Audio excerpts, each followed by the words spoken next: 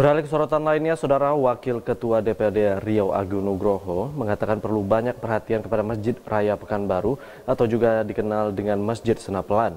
Ini untuk melestarikan salah satu ikon wisata dan sejarah kota bertuah.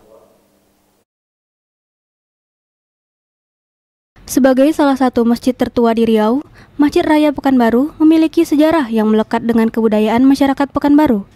Wakil Ketua DPRD Riau, Agung Nugroho mengatakan perlu banyak perhatian kepada masjid ini. Untuk melestarikan salah satu ikon wisata dan sejarah kota bertuah, dukungan pemerintah Provinsi Riau dan Pemko harus terus diberikan. Walaupun dengan kita bilang merangkak, ini kita tahu bahwa dari kecil saya ini sudah mulai ada pembangunan namun sampai hari ini belum bisa dikatakan selesai 100%. Namun tapi kita lihat bahwa hari ini kondisinya sudah hampir 90% itu selesai. Dan ini memang masjid yang bersejarah bagi Kota Pekanbaru. Di sini banyak makam-makam yang pendiri Kota Pekanbaru.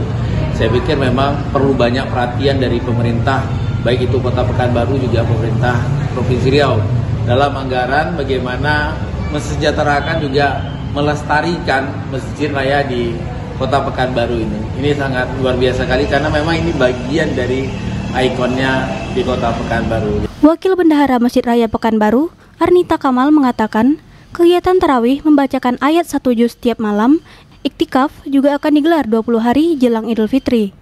Selama bulan Ramadan itu tarawih satu juz satu malam. Sudah itu kita mengadakan ini uh, apa tuh uh, iktikaf 20 hari, eh, satu, uh, 10 hari, 20 hari ke, de, ke belakang, ke depan ya kan, tanggal 20 langsung sampai 30. Itu udah tiap tahun kita lakukan. Udah hampir 10 tahun. Udah uh, lebih 10 dari 10 tahun kita lakukan. Ya untuk satu juz satu malam sudah 10 tahun lebih kita uh, lakukan.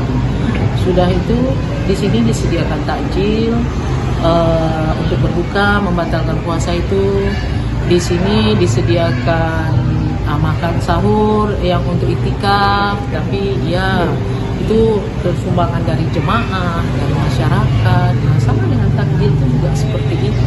Menurut Kementerian Pendidikan dan Kebudayaan, Sultan Abdul Jalil Muazzam Syah merupakan tokoh di balik berdirinya Masjid Senapelan.